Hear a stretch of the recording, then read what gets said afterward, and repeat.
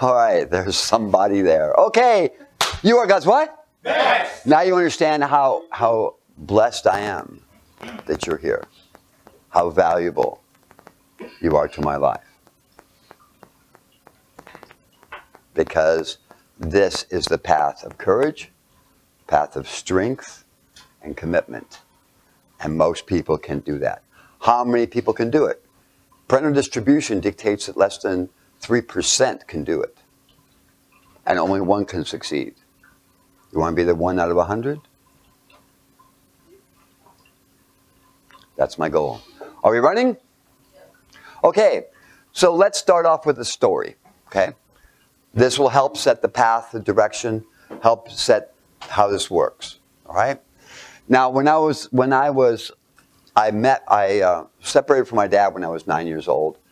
Um, and I grew up taking care of my brothers and sisters, and I, my mom had more children, and it got to be quite disaster. But nonetheless, um, there was this little picture my sister had. She got it from my mother, and it's me, right? And I'm covered in suds from head to toe. I mean, and I'm in the front yard, and you can see me, and I've got the hose in my hand. All the ground is covered with suds, and I'm looking like this. All right? And I'm like, and you can see off in the corner, on the edge of it, you can see the, the bumper of a car. And that car happens to be a DeSoto that time. So I asked my I asked my you know my family where they got it from, and they said, well, the whole story. I had to piece it all together because I remember because I was only six at the time, and I kind of like this. How many remember everything when you were six? Kind of fuzzy. You remember when you were six? No? Okay. How many remember getting born? I sure don't. I always slapped the doctor back. But anyway, so what's the story on this? Well, I found out that what it was is that this little guy, when he was a little mini person, a rugrat, tried to make his daddy and mommy happy. My dad had got a brand new car. He just bought it. Wasn't exactly new, maybe a year old, but it was in superb condition. He was so proud of it. And this is a time when my family was having a little awkward time, from what I understand. So I decided to try and make everything better. So what I did is I went out there and I got the big bucket that my dad uses to wash the car with. And I'm going to do it just like my dad did, right? And instead of just a little bit of that Tide, right, which is granular soap, I poured the whole box into it. The whole box. You understand? Those are those big jumbo boxes. The whole thing filled it all, the bucket all the way up almost. Because I want to make sure that car was really clean. Then I put it to the car and I realized I had to put the hose in there. So I went and got the hose and I put it in the bucket all the way to the bottom. And then went over and turned on the water. Nice cold water. And this big box of Tide. And as I went over there to turn on the water, I kept turning it and turning it and turning it. And of course, I saw that the hose was was bubbling where there was that and the bucket was bubbling up. And all the soap was coming out. So I went, oh no. So I grabbed the rag I had and I decided to start taking and I I took the this picked it up with the rag and I had that that like coarse sand that hadn't all been dissolved yet and I rubbed it on the car and I just some more and rubbed it on the car. And of course, being only this tall, I couldn't reach any higher than here. So I went all along the side of the car, brand new paint job, all along the side of the car, just rubbing and rubbing and rubbing and rubbing. My arm would get tired, I'd rub with the other hand, and rub and rub and rub. Went all over the car. By the time I got around the other side, it was caked with this. So I went over there and I, I had, uh, we had one of those things where you go like this and it comes out really fast, and you go like this and it comes out a little bit, right? So I went over there and turned it on full blast, right? Because, and I was going to wash it off. And so I'm washing it off, and, and I had to get really close, so I had to scrape it off with the hose. So I'm scraping it off with the end of the hose all around the car. I got all the way around and I had to go back around again because I had the, the hose that looped around the back tire, the tires. So I had to come back around again and I scraped it and I had it on the, the headlights and I, I broke one of the headlights and trying to get it off. And I and I and the, the top part here was really hardest. I was really hitting it hard with the hose because it was caked up right where the window's at, and I kept blasting at it. See, the problem was the windows were only halfway down. And so I'm blasting away at it to get it down. Well, anyway, my dad runs out and he sees me trying to get that stuff off the crack where the door and the window meet because it hardened. And I'm trying to, and I'm pushing on it and trying to get it off. My dad walks out and his eyes are like this big. And he goes over there and he turns off the water and he goes, Come here. And I go, Yes? He goes, Never mind. And he goes back in the house and he screams really, really loud. More like, ah, you know, kind of thing, like Darth Vader, you know, ah. And I'm like, then my mother comes out and she looks and she runs and gets the camera, and I'm like this. Anyway, after that picture was taken, I remember the only thing I remember this whole thing was when my dad opened the door and water poured out. I had shorted out the electrical, I had shorted out the battery, I had destroyed the headlights, all the interior, everything was wiped out. Brand new car becomes absolutely worthless. Am I an evil child or not? That's the question. Am I evil?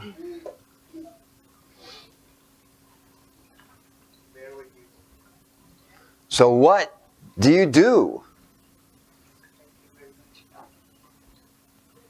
Should I deserve a whipping? What should I have? What should someone do to me? You see, having knowledge, did I know what soap was? Yeah. Did I know how to wash a car? Yeah. Did I know how to use the hose? Yeah.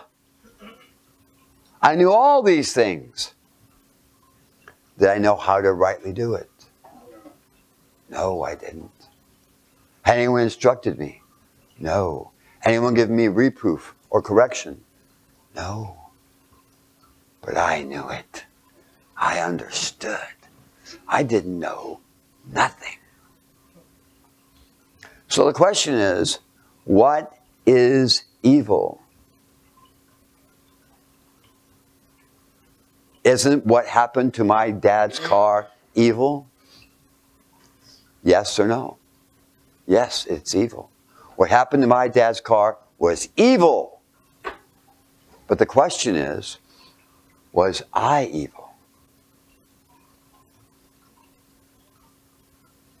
You see the difference? Am I bad? Or is there something else involved?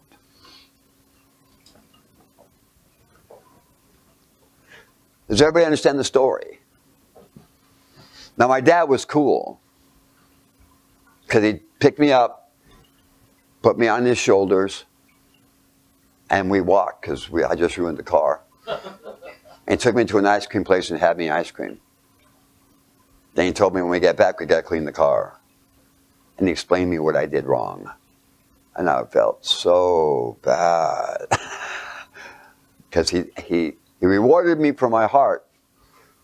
But I had to learn what I did wrong. And I was devastated. I had, to, I had not made things better. I had made things far worse.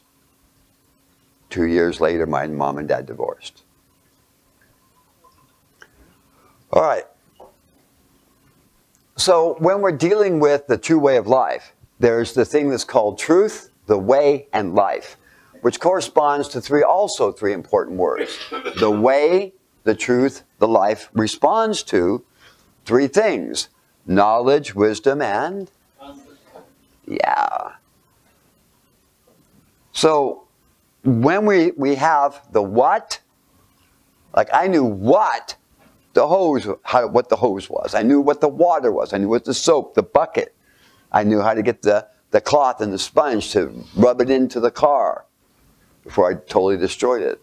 Six-year-old, be careful. Watch six-year-olds like a hawk. They think they know something, and unless you and tell them, don't do anything unless I've taught you how to do it. Then set it up so they realize that only your teaching will work, and then they'll learn. Otherwise, they go, well, I can do it, and the pride goes way before. Pride will ruin their pride as a three-year-old. There's pride as a three-year-old, there's pride as a six-year-old, there's pride as a 12-year-old. You got to be careful on each one of those three levels. Being the oldest of eight kids, I'm fully aware of this. But here we go. What corresponds to? All right. How corresponds to what? Wisdom. And why corresponds to understanding. These are crucial to understand. This is what the whole Word of God is. This is what the whole, it doesn't just teach knowledge and wisdom. The reason being is it assumes you're going to live to at least 70. The Bible is designed for people to live to be 70 years of age. The problem is, in the Greek and Roman culture, nobody lived past 30. So they never really gained anything. Only in the East did they understand. I don't care who it was, Alexander the Great, whether it's Caesar, nobody lived past 30. So and those were the rich and famous. The rest of the people died younger. So when you're dealing with the East, it's different from the West. Because all that the West wants, the, the uh, West wants to know is how to use this thing. No. it's all they want to know is know what it is and how to use it. That's it. What it is, how to use it. When you got your cell phone, what'd you get? You want to know, you know what it was, and you want to know how to use it. You didn't care how it worked. You didn't understand what, what malware was. You just wanted to work. And that's standard Greek and Roman. They only want to know what it is, how to use it. That's it. And, the, and the, when you go to the East, it's a whole different world because you've got to have what? Understanding. So just teaching someone something, that knowledge is of no value unless they can gain what? wisdom, and understanding. They can either learn by your experiences so they don't make the same dumb mistakes, or they can go off and learn it by themselves, which can be a really a heartbreaker. All right, so now this the app when you get the knowledge, you go to the application. What do you have? If you gain, if you find out that you blew it, that doesn't work, and that's exact errors in, knowledge, in the knowledge you got, and what? Application. Please, this is very important. No, important, right? Important is a different thing. You hear about the guy that went in for a vasectomy? guy went in for a vasectomy, he's sitting there waiting, and the guy comes in there with a top hat and tails, bow tie, a tux. Guy says, he goes, he goes, uh, why are you here? He goes, I'm here for a vasectomy. He goes, Yeah, I'm here for a vasectomy too. He goes, All right. He goes, But why, why are you wearing a top hat and tails and a bow tie and a tuxedo? I don't understand. You're, you're here like me for a vasectomy, then what are you all dressed up for? Because, well, if I'm going to be impotent, I want to look impotent. All right. uh, anyway. Errors in knowledge and application. So he got the the word. He got the word, but it, it's not the right definition, right? So he's dressed up and he's going to be disappointed. Okay. So applying it is really crucial. You've got to be able to apply it the what? Right way. Knowing it is, is ridiculous. It's, enough. it's totally invalid. Because unless you have the knowledge and know how to apply it, you're going to wind up with tears, sorrow, and distresses. And these happen in two places. In applying the knowledge and the second level of gaining what? Understanding. Because in our culture, we want everything, the whole world problems are taken care of in 40 minutes. You notice that? The world's about to be destroyed. Please, someone save us. Dun. 40 minutes of the movie, bang, the solution. The world's destruction is, is curtailed and saved. And it's all within the last seconds as the clock ticks. After 40 minutes, the world is saved. But that's not how life works. Sometimes it takes a whole lifetime, not just 40 minutes. And we assume everything takes 40 minutes. That's not how it works. Ever try and plant a plant, plant a seed, and expect it to grow? Plant it, 40 minutes later, it's still not there. So you dig it up. Is the seed still in there? Plant it back down. Wait the next day, dig it back up. Why aren't you growing? Drop it back in there. It's been a whole day now and nothing's come up. It doesn't work that way. life does not work in a 40 minute span. It just don't. The biggest thing is patience. How in applying.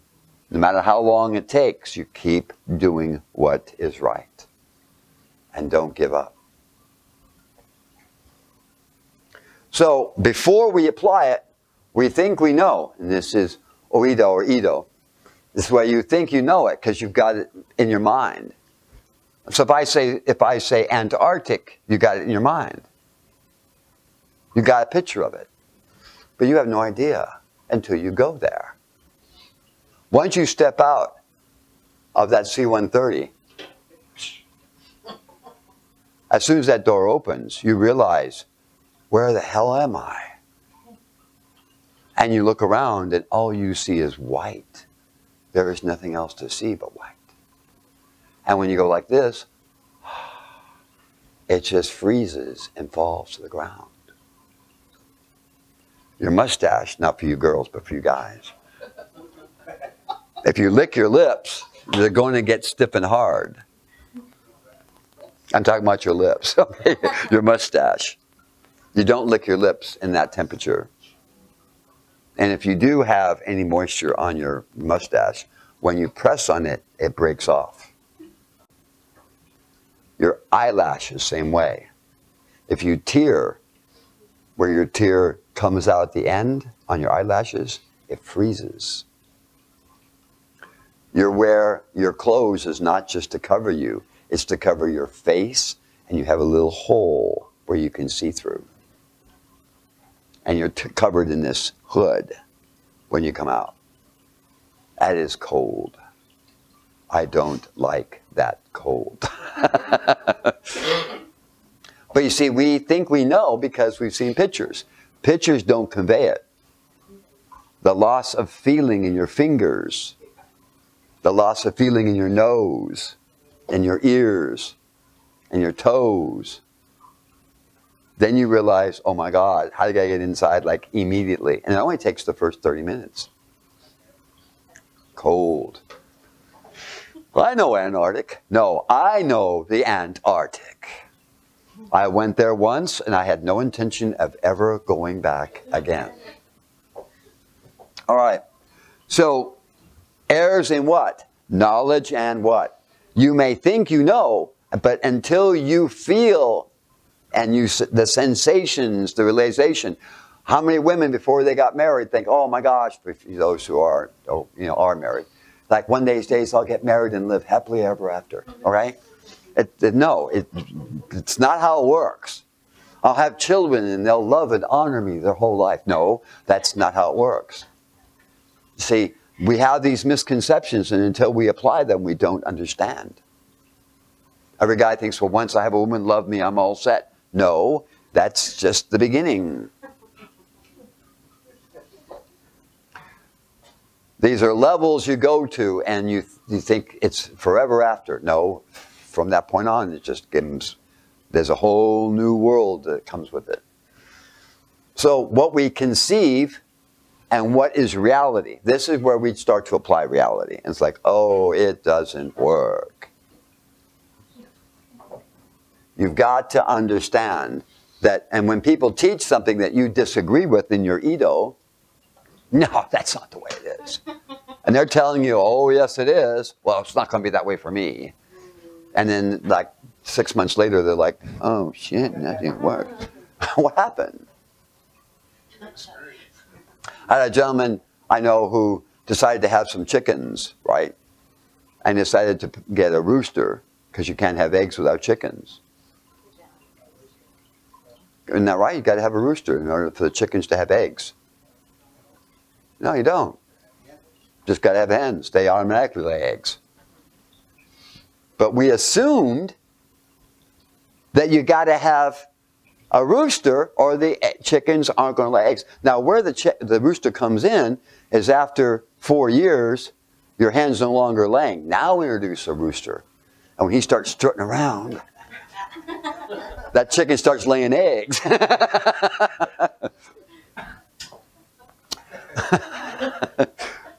but anyway, so there's two types of knowing. That which you conceive in your mind from watching television, reading books, talking to people, which they never tell you the truth anyway. And then there's that which is the real experience that no one likes to talk about. All women who are married and have children want to get the single woman to get married and have children like really quick. So we can all feel miserable together, right? all the husbands want the single men to get married so they can sit back there and say, yeah, it's wonderful. they have no idea what they're getting themselves into. That's why we have a bachelor's party for everybody to luck, yuck it up. All right. So there's what you think you know and what is reality. This is a double-sided blade. Entering in and coming on the other side. You will not be the same person on the other side. This is growth. But it's only in one area. No, it's in all the areas. Is that making sense? So, where is the locations of change happened? Well, out here, knowledge is by by watching, listening, hearing. So that's like not a big deal. That's just basically the mind. This the mind is the gateway to your the insides. Because what does God look at? God looks only on the what? Heart. The heart. That's all he sees. So what you do on the outside is totally irrelevant. It has no bearing on you may convince others that you know your stuff, but God says, no, you don't. You're lying. You're telling people something that's not true. Something you have no idea what is. And this is where we like to fool each other, and we get we give each other awards for the person that best fools us. They call them Oscars. And we paid them lots of money because you fooled me better than anybody. You made me believe you were something you were not, and therefore you need millions of dollars and an award. Because I really believed you were that person. So our culture is Greek and Roman. We worship, we honor, we love people that deceive us. And we reward them greatly. So locations of change and development is in the mind. But that's only Oedo. To get on this side, that is where Gnoska comes in. That's the how. That's wisdom. And that happens in the what? In the soul. And that designates who you are. Then you develop even further. I want to stay a baby. All right, Peter Pan. Good luck. Nothing's going to work for you. You've got to get involved. You've got to try out what you think is right. And it's going to hurt. You're going to be disappointed. But if you can hold on and get through it, you get to grow even further. Is that making sense? The last place it develops is a greater understanding of reality, which happens in the heart. You got it? This is what is God's looks at. How much of reality is that God has that you have? This don't change, God don't see you. This is everything. But in order to get to there, you got to go through the mind, then the what? The soul, and then the heart, and then it builds, it grows from the inside out, and to where the heart changes the soul, and, and then eventually it changes the what? The mind. But you've got to break through these boundaries. So the mind feeds the soul, the soul the heart, but the Word of God doesn't go to the mind. The Word of God doesn't go to the soul. The Word of God is directed to go right to the heart. And as it goes in, this grows and finally influences and changes the soul and then continues to grow and then finally changes the mind. Got it? That's the procedure. That's why coming in is rough. Coming in is painful. Coming in is distressing coming in is disappointing. And people are like, forget this, I'm just going to live in my fantasy. I me ask you a question. What do you think the majority of people like to do? Strive to make themselves better or play a game? Why? It's easier. You don't, yeah. Come back to where you were before, conquering the dragon, having all the women in love with you being honored as a ruler and leader when you've never learned anything. Games are much easier. There's no pain involved. But even learning how to walk, how many times did you hurt yourself? Wouldn't it have been easier to stay crawling even to this day? No, I want to walk. People say, I want to get to the point in my life where I never have to work again. Everybody will give to me and I don't have to do anything. What do you want to be, a quadriplegic? If you can't take care of yourself, you have nothing.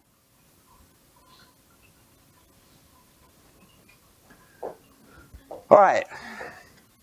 So the question is, when I was that little mini person, that little rugrat, that little curtain climber, carpet commander, did I really, really know what the hell was going on? I thought I did. So the question is, was I sinful? Was I evil? so here we go. We have this question. I want you to memorize the statement, right? Great, got it? No, you memorize it. Tell me what it is. You didn't do it. All right, I'll try again. All together now. Ready? Absence is not substance. Right, this is an Eastern concept. Not Easter, Eastern, right? So I'll go for the Easter bunny. No. Absence is not what? Substance. When you make an absence of something, like we had a chair that had nobody in it. Well, how would you get in there? No, there was nobody in the chair. Well, how, where did he come from?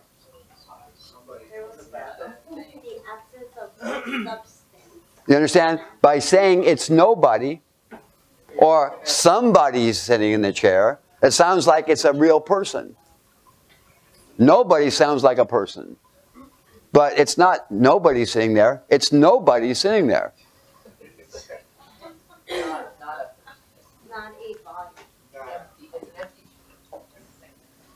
All right. Let's try let's try this, okay? What is greater than God more evil than the devil. The poor have it, the rich need it, and if you eat it, you die.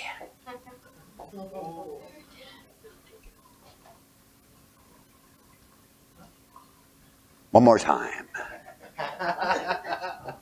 what is it that is greater than God? More evil than the devil. The poor have it, the rich need it, and if you eat it, you will die.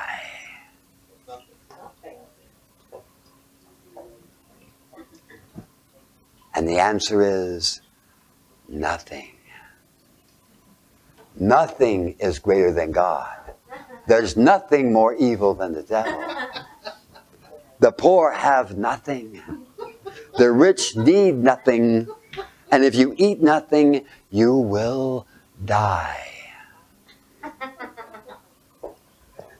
What's the problem here? We have objectified, given substance to what? Absence. Nothing is not a thing. Right? Repeat after me. Nothing is not a thing. No thing, right? We have a problem. I should be over here because I'm a we, right? We, on this side, have a problem. Because we, when we are in speaking English, I am sick. That's who I am. I am sick. I am tired. I am. What am I defining myself? Now, the Spanish have got it cool because they, they have it, they carry it with them. I have sickness, na na na na. You don't. i say, well, I've got this. Oh, you think that's bad? I've got this. And you go, whoa. Well, I've got this. Sickness is not a thing. It's nothing for you to exalt yourself or to be worn as a badge of identity. I am sickness. No, you can't be. You don't objectify absence. It's not an object. You don't give it substance because it doesn't exist. And this is the problem when people say, I am poor. Because once you are that, how can you be anything else but that? And when people say, I am poor, well, here's a million bucks. Ah! Spend it! Whew! I almost was rich there for a second.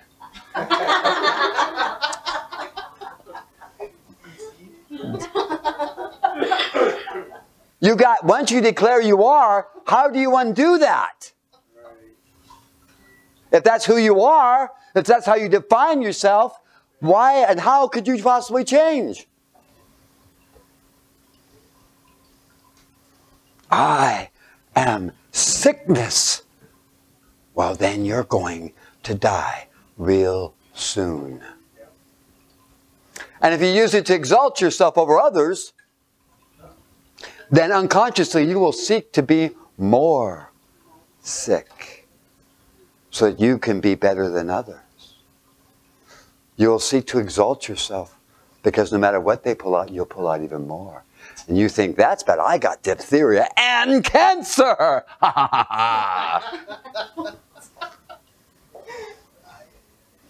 you understand the problem? Don't make your identity associated with something that is not even real. You will destroy yourself. I'm a failure. You are a failure. You don't have any idea how many times I've failed. Well, welcome to life. You started out being born and got slapped. Welcome to the real world. well, can't you make birth a little gentler? No, it doesn't work like that. You're going to bleed. You're going to hurt. You're going to cry. That's on your first hour of birth. So don't even think about life being wonderful. You have to work to make anything out of it. And it's going to take sweat and tears. And to think it otherwise, then you would be a fool.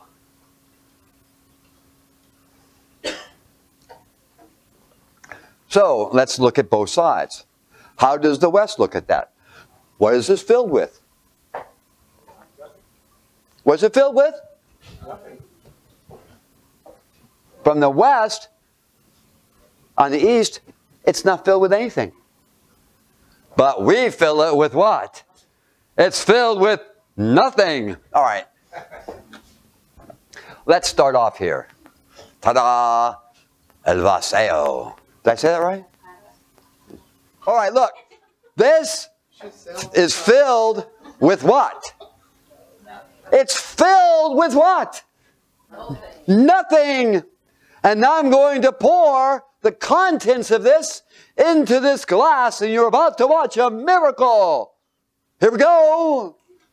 I am pouring the contents of this into the glass.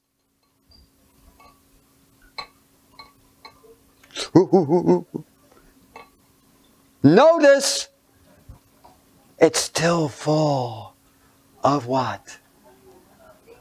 And yet, this also now is what?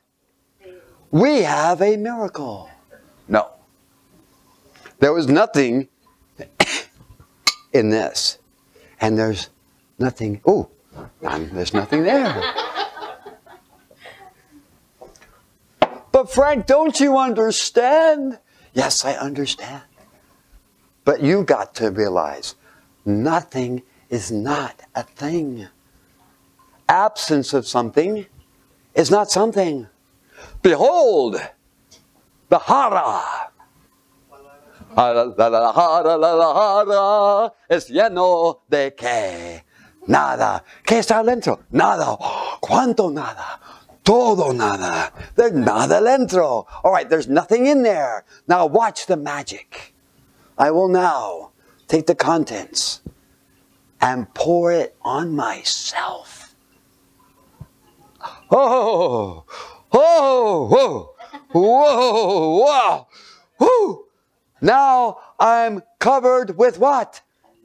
Nothing. Nothing. And the the hara uh, is still filled with nothing. A miracle. No, it's not.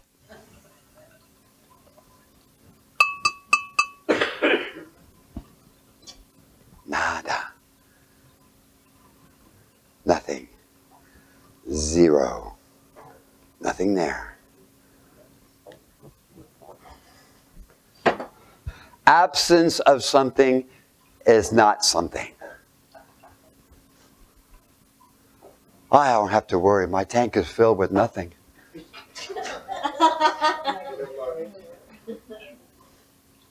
See, when it goes down, it says that that's a gasoline. Now I have extra. No, you don't have anything.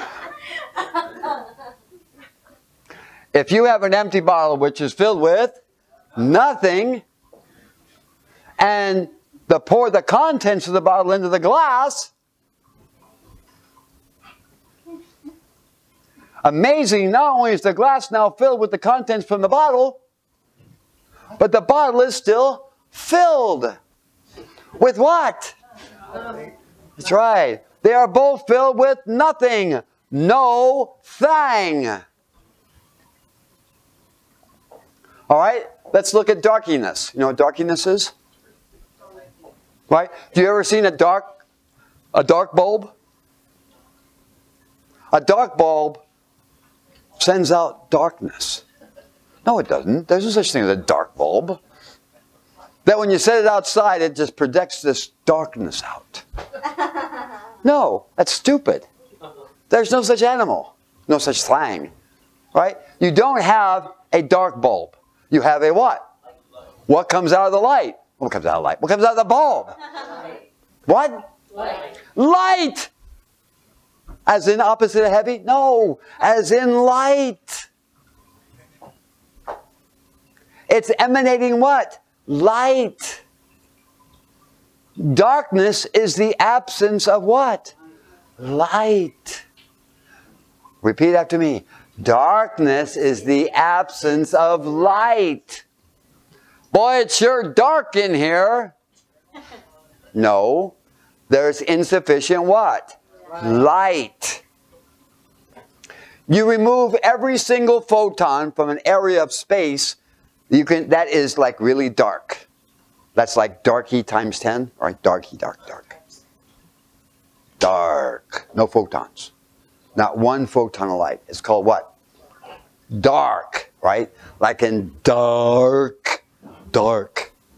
No photons. Photons are the things that gives light. Those are things that are bouncing off things that you can see reflected.